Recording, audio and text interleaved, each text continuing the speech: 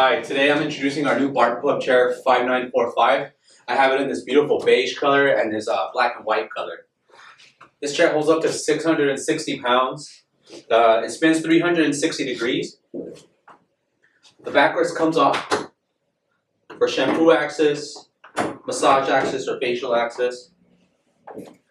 Chair raises about 6.9 inches. And the headrest also adjusts.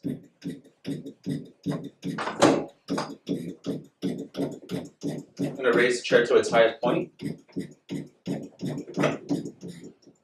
is right about here.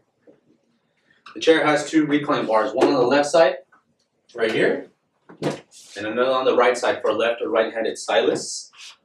To recline the chair, you pull up and you put all your weight on the backrest.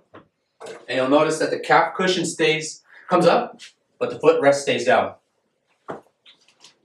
Let me bring that back up on the other side. To lock the chair from spinning, you simply pull up on the pedal and it prevents the chair from spinning.